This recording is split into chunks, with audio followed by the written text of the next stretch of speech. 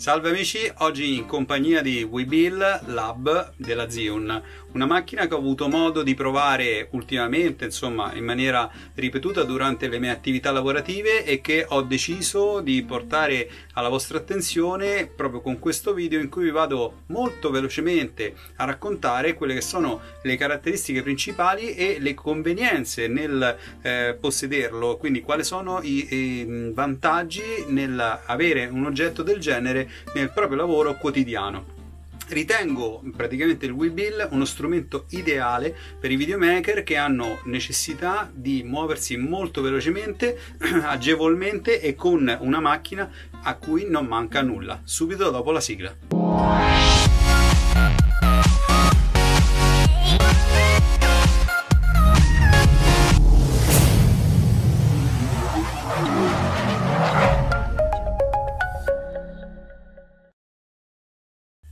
Eccoci qui, ecco come vedete in questo momento il Webill è in funzione, stabilizza la nostra camera che in questo caso eh, è rappresentata da una GH5 e partiamo proprio da qui, a chi è adatto questo tipo di accessori, a chi è adatto questo gimbal.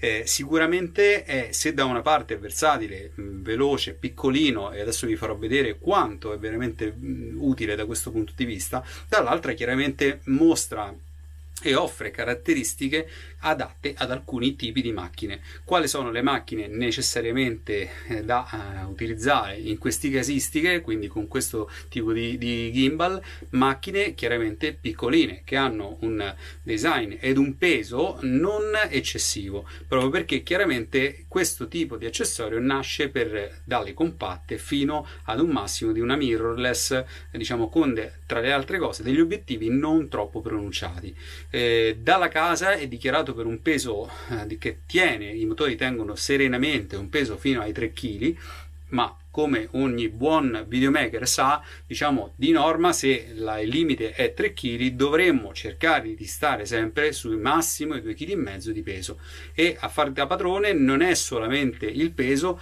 ma eh, molto importante è anche eh, la grandezza della macchina che mm, inserite all'interno eh, della, dell'alloggio della slitta perché? perché i motori chiaramente hanno una vicinanza dal, dal mezzo eh, che possono in qualche modo venire urtati nel momento in cui praticamente si fa questo tipo di gesto e quindi se la macchina eh, ha una, un'ottica troppo pronunciata davanti chiaramente siamo costretti a spostarla per bilanciarla correttamente nella parte posteriore andando poi chiaramente a ostacolare il motore e quindi a creare un disservizio o comunque un malfunzionamento. Quindi questa nota che ho fatto è molto molto importante nel momento in cui si sceglie il gimbal della tua vita perché chiaramente, ripeto, comprare un gimbal che poi non è compatibile con quelle che sono le ottiche che decidiamo di montare sul gimbal stesso compromette eh, l'acquisto proprio che abbiamo fatto e addirittura potrebbe essere stato l'acquisto sbagliato. Cosa che non è assolutamente così se compriamo il giusto gimbal con la giusta eh, attrezzatura, la giusta macchina da inserire sopra.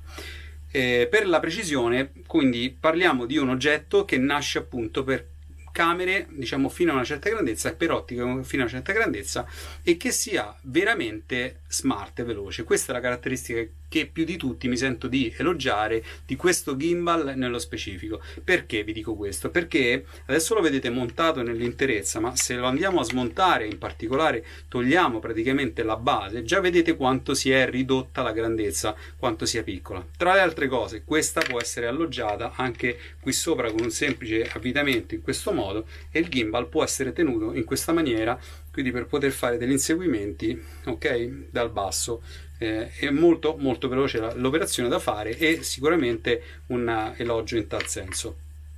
Ecco oltre a questo eh, altra caratteristica e metodo di funzionamento che mi sento di eh, portare alla vostra attenzione è chiaramente il follow focus che come vedete è molto piccolino hanno studiato una, una manopola molto molto veloce molto piccola ma che fa il suo dovere così come eh, il, il, motore di follow focus che ho adagiato e sistemato qui. Quindi come vedete funziona perfettamente è abbastanza fluido eh, nel, nella lavorazione ci consente di mettere a fuoco direttamente attraverso la ghiera attraverso la manopola di, di controllo. Siamo abituati a vedere questo tipo di caratteristica su altri gimbal, ma ricordo che si tratta di un gimbal veramente piccolino che ha tutto quello che hanno eh, i fratelli maggiori, quindi i gimbal più grandi. Adesso vi porto a vedere un po' come funziona in generale il gimbal. Una volta calibrato, e la calibrazione come su tutti i gimbal si fa sui tre assi che sono la calibrazione di, di questo eh, asse qui, quindi la, il movimento destra-sinistra della base, piuttosto che avanti, dietro con quest'altro eh, diciamo perno okay, che si stringe e fa il posizionamento in questo senso e per ultimo chiaramente la eh, calibrazione dell'asse invece in verticale che è questa qui che vedete qui sul lato qui che vi sto indicando una volta calibrato basterà accenderlo con il tasto che sta qui sul laterale sinistro il gimbal è pronto all'utilizzo. Con un attimo potrete vedere eh, la sua efficacia e molto velocemente siamo operativi. Eh, nota per quanto riguarda la sua costruzione abbiamo una piastra in standard manfrotto che può essere sganciata senza necessariamente dover perdere la posizione di bilanciamento. Quindi l'aggancio diciamo che qui abbiamo lateralmente ci consente di bloccare la piastra e nel momento in cui la sganciamo possiamo schiacciare questo tasto frontale qui e in questo modo possiamo staccare la macchina ma pur mantenendo la posizione in cui era posizionata la macchina e quando eh, ad esempio facciamo questa operazione per cambiare una batteria reinseriamo la macchina e il gimbal è già perfettamente bilanciato. Chiaramente il follow focus è attaccato alla basetta che viene sganciata, quindi nel momento in cui stacchiamo la macchina in realtà stacchiamo tutto compreso il follow focus e questo ci aiuta a non dover riattaccare e rifare la calibrazione del follow focus stesso. Per quanto riguarda il design eh, che hanno studiato in casa Zion abbiamo una discreta distanza dalla macchina almeno da una macchina di questo genere un motore che scopre completamente il display che anche se qui in questo caso con la GH5 avremmo la possibilità di aprire il display però anche una macchina che ha il display come in questo caso ehm, diciamo frontale, possiamo tranquillamente vederlo perché il motore è ribassato. Tutto il sistema è gestito e bloccato, autobloccato dai fermi che sono sui tre assi, uno è qui, uno è qui e l'altro è qui. Eccolo qui che blocca quest'altro asse qui. Adesso lo vedete sbloccato ma ve lo faccio vedere anche bloccato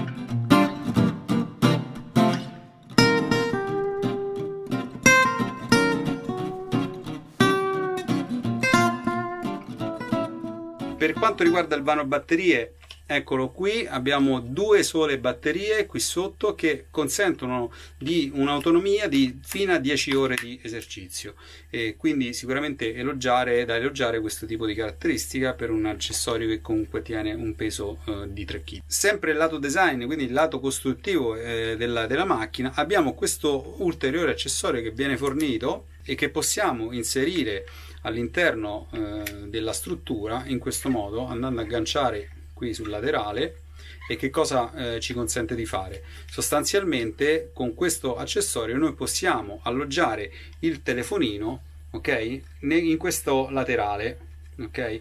E a che cosa ci serve il telefonino il WeBill permette una completa gestione della macchina, nonché la visualizzazione del display e quindi in tempo reale delle immagini presenti sul display eh, della macchina, in modo tale che possiamo tranquillamente eh, vedere qui, senza dover andare necessariamente a vedere il display, e eh, attraverso l'app dedicata della, del, del GUI bill possiamo gestire tempi, diaframmi, esposizione e qualsiasi tipo di eh, parametro appunto della macchina che montate. Per quanto riguarda le compatibilità con eh, le varie macchine vi rimando chiaramente ai siti ufficiali che possono eh, dare maggiori delucidazioni in tal senso. Ma ritengo sia veramente interessante l'applicazione e la modalità di esercizio di questo gimbal che consente tra le altre cose, essendo un collegamento wifi, di poter gestire da remoto il, il gimbal stesso attraverso l'app. Quindi possiamo ad esempio staccare praticamente il telefonino, lasciare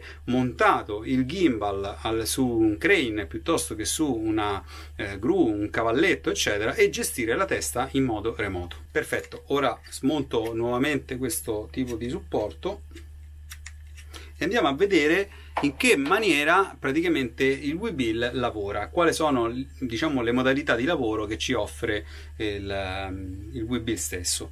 Eh, come le, potete vedere, al, diciamo, la, il suo manico è dotato di un display mm, retroilluminato che consente di vedere direttamente la modalità di esercizio in cui ci troviamo. Ad esempio in questo momento siamo in, pan follow, ovvero la possibilità di seguire il pan, come vedete, no? destra-sinistra, mentre invece il tilt è bloccato, quindi vedete che la macchina mantiene l'orizzonte. Ok? Cambiare modalità è semplicissimo, il Webuild ha pensato a una soluzione, un po' tutti i prodotti Zion sono così, davanti chiaramente è presente un grilletto frontale con cui possiamo fare diverse operazioni. Sono eh, in questa posizione. E, e faccio doppio clic, la macchina si rimposta di default sull'asse orizzontale e verticalmente eh, appunto in maniera corretta. L'altra cosa che possiamo fare è tenere premuto il grilletto e a questo punto la macchina da pan follow passa in modalità F. Vedete qui? Abbiamo l'F. Ecco questo che cosa significa? Che la macchina adesso segue tutti i movimenti. Vedete che se io abbasso la testa si abbassa, se alzo la testa segue il movimento verso l'alto, sinistra, destra, quindi comincerà a seguire un po' tutti i movimenti del braccio, tranne l'asse roll, quindi l'asse sulla rotazione. Perché? Perché per abilitare quella abbiamo un tasto apposito che è il tasto che abbiamo qui davanti, POV. Cliccando questo tasto la macchina comincerà a ruotare anche sul lato sinistro, destro, quindi è completamente snodata e seguirà in maniera delicata e eh, addolcita tutti i nostri movimenti di camera. Questa modalità chiaramente è per eh, modalità di ripresa un po' più creative. Facendo doppio clic si ritorna in pan follow, quindi il gimbal è pronto immediatamente a rilavorare nella modalità standard. Quindi Zion possiamo dire che concepisce i suoi eh, strumenti come un utilizzo normale in pan follow, cioè con il tilt bloccato, quindi con l'asse orizzontale bloccato e seguimento, inseguimento solo del eh, destra-sinistra. Però ci dà la possibilità attraverso il ghetto frontale di essere velocemente okay, operativi verso almeno quelli che sono gli assi sopra, sotto e un tasto centrale centrale, come vi ho fatto vedere, POV per snodare completamente. È chiaramente possibile bloccare anche il pan e quando è che si utilizza questa modalità? Quando ad esempio dobbiamo eh, indietreggiare e seguire un soggetto che è di, di fronte a noi. Quindi sul laterale destro, qui, abbiamo a portata di pollice, abbiamo la possibilità di tirare giù questo selettore e come vedete a questo punto io posso indietreggiare la macchina rimane puntata sempre a guardare il punto da dove sono, ho lasciato da dove ho schiacciato appunto il, il selettore. Questa modalità si rende veramente utile e molto veloce da attivare attraverso questo selettore che posso chiaramente ri eh, sbloccare nel momento in cui voglio attraverso il, il, selettore ritirando su il selettore stesso. Come vedete i comandi sono tutti a portata di mano, è molto veloce da gestire il tutto. È chiaramente presente un joystick che potete vedere qui a portata di pollice che consente di fare movimenti di camera.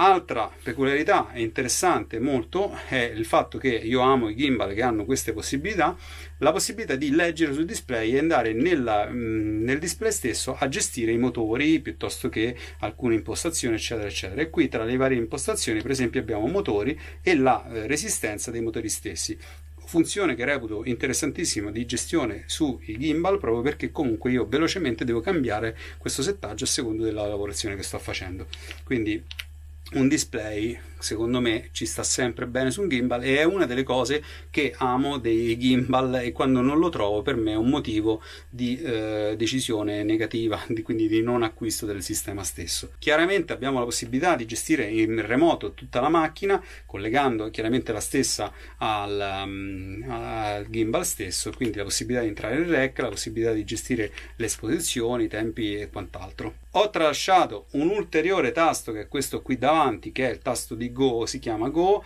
e permette di fare movimenti a schiaffo, cioè io lo tengo premuto e automaticamente la macchina è molto più reattiva, molto più dinamica, quindi tende a essere più bloccata. Anch'esso è mm, sul lato sinistro e anch'esso raggiungibile con un semplice tocco. Ultime due funzionalità rappresentate sempre dal tasto POB che premuto due volte consentono di andare nella modalità Vortex che così potete vedere e attraverso poi il joystick qui davanti potete comandare serenamente. Vedete? Ritorniamo in operazione normale. E ultima possibilità che abbiamo attraverso il tasto pop che in questo caso l'hanno abilitato e pensato per tre funzionalità che ripeto uno è la possibilità di eh, sbloccare anche il bilanciamento sui laterali e quindi la rotazione che in questo caso è bloccata con un clic solo sblocca la rotazione sui lati dest- destra e sinistra, poi abbiamo due clic per la modalità Vortex e tre clic, 1, 2, 3 e il gimbal passa in modalità selfie mode. Chiaramente per ritornare nella modalità normale 1, 2, 3 e, e la macchina ritorna in modalità normale. Quindi abbiamo un po' descritto tutte quelle che sono le caratteristiche di base per come è stato pensato e si può gestire la macchina stessa ma vi posso garantire che la stessa macchina è veramente, eh, oltre che leggerissima, è veramente eh, comoda da portare in giro. Io mi sento di eh, consigliare, se vogliamo, questa macchina che ho avuto modo di provare su qualche mio lavoro e che reputo essere interessante proprio per la comodità di trasporto. Eh, spesso viaggio in aereo, spesso viaggio in treno e eh, ogni volta portare un'ulteriore borsa esclusivamente per un accessorio del genere chiaramente può diventare complesso. Questo gimbal può essere custodito e riposto all'interno di uno zaino che già contiene altri tipi di attrezzature, quali ottiche macchine fotografiche. E questo ritengo sia la cosa più utile di questo gimbal, oltre al fatto che lavora assolutamente egregiamente e stabilizza alla perfezione le nostre immagini. A tal proposito vi lascio qualche immagine eh, di eh, miei lavori realizzati appunto con questo eh, accessorio. Vi ringrazio per l'ascolto, per il tempo che mi avete dedicato. Se avete delle domande potete lasciare al di sotto dei commenti del video stesso. Se vi è piaciuto il video un like non fa mai male e ci vediamo alla prossima.